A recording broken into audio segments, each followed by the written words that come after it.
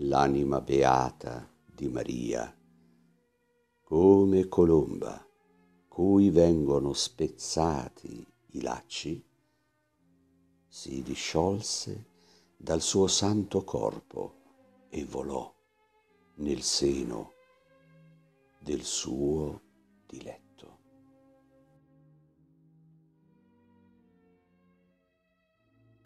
L'anima beata di Maria, come colomba a cui vengono spezzati i lacci, si disciolse dal suo santo corpo e volò nel seno del suo diletto.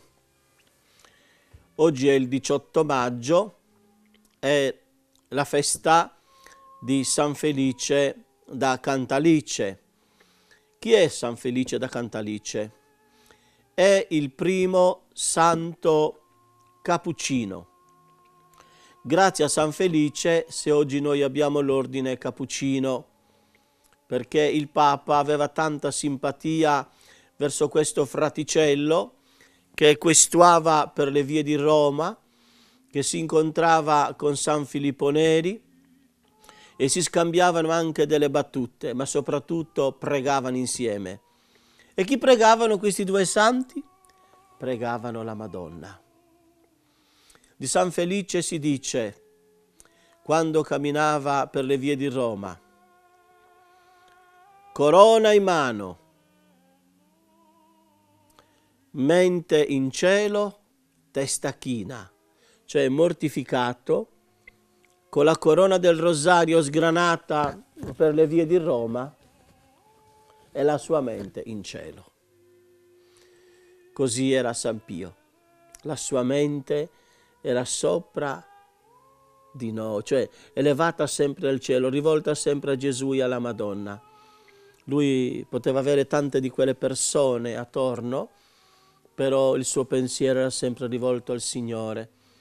Forse tu non ti accorgevi che stavi accanto a Lui, ma stava, ti stava già raccomandando a Dio, raccomandando la tua anima, raccomandando di cui tu avevi bisogno, il tuo lavoro, le tue necessità spirituali, le tue necessità temporali, tutto, perché Padre Pio era un mistico, il più grande mistico di questi ultimi tempi.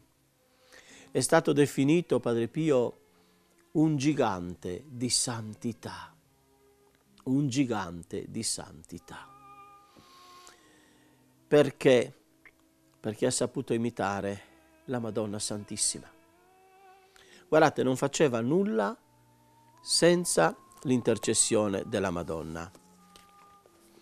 Nel libro di padre Marcellino scrive che il padre Agostino da San Marco in Lamis ci dice che oltre le visioni della Madonna, a cinque anni cominciarono pure le apparizioni diaboliche. Però la Madonna era sempre accanto a lui e si racconta che egli da fanciullo tante volte doveva percorrere la strada che va dal paese di Pietrelcina alla campagna di Piana Romana per raggiungere i suoi genitori o dopo essere stato a scuola dopo aver fatto qualche servizio in paese. Quasi a metà del tragitto c'era un ponticello. Più di una volta egli ha sentito come una forza quasi fisica che tentava di spingerlo nel vuoto, mentre si sentivano voci beffarde che dicevano eh, il santo, il santo, ecco il santarello. Ma la Madonna, dice, era al suo fianco a proteggerlo con i suoi angeli. Ecco, la Madonna era al suo fianco per proteggerlo con i suoi angeli.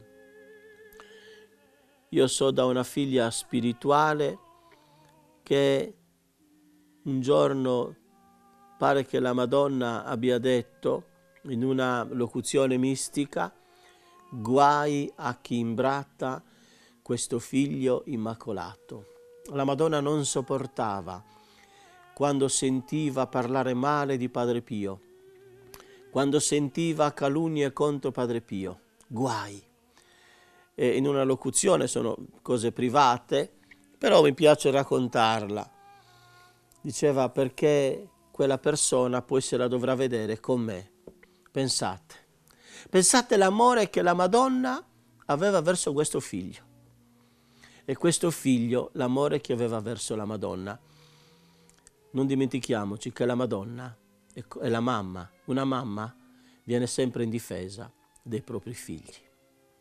Pace e bene.